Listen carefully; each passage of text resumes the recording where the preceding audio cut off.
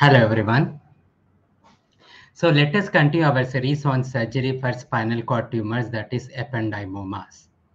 As a spine surgeon, I operate a number of cases, number of cases of spinal cord tumors. One equipment which is the most useful for me is the microscope. Let me explain you what is a microscope. How does it make our surgeries more safe and effective? Let me present so the importance of microscope in spinal cord tumor surgery. So this is a series. This presentation is part of the series of understanding the role of technology in your treatment. So spinal cord tumors are rare but serious condition that can cause neurological symptoms and they require treatment.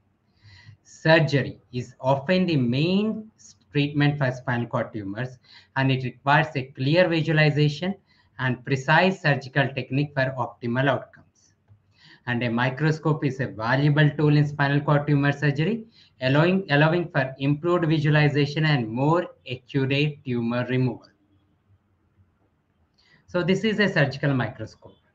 So what is a microscope? Everyone knows what is a microscope. So let me concise it. So a microscope is a device that uses lenses and illumination to magnify and visualize small structures that are not visible to the naked eye. In spinal cord tumor surgery, a microscope is used to magnify and illuminate the surgical field to allow for more accurate and precise surgery. So, the how is a microscope used in spinal cord tumor surgery? A microscope uh, mainly performs two functions. It is used to magnify and illuminate the surgical field. So with help of magnification, the surgeon can adjust the magnification and focus of the microscope to see small details and structures more clearly, which includes the tumor and the surrounding tissues. This allows for safer and more precise surgical techniques and reduces the risk of damage to healthy tissues and nerves. So what are the advantages of using a microscope? It it improves the visualization of the tumor and the surrounding tissues, allowing for more accurate tumor removal. It reduces the risk of damage to healthy tissues and nerves.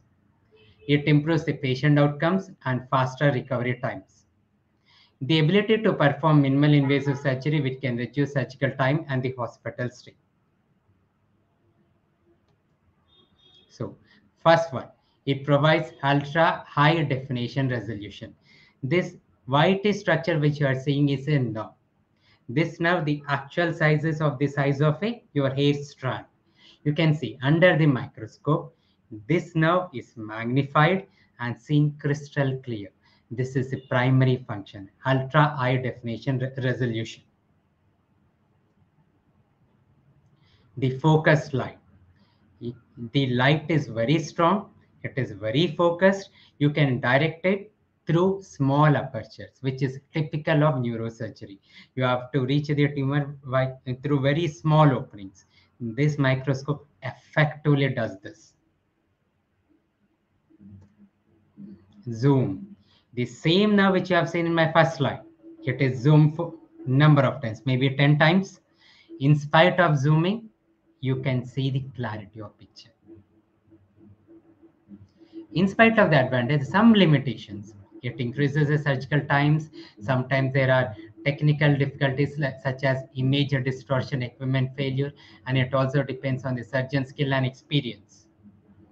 So the use of a microscope is an important tool in spinal cord tumor surgery that can improve patient outcomes and reduce the risk of complications.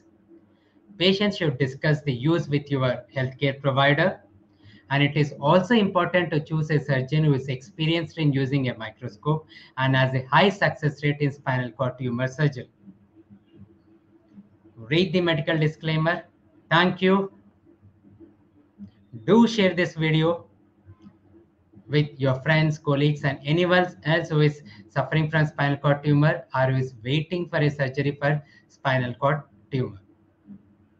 Subscribe to this channel and thank you.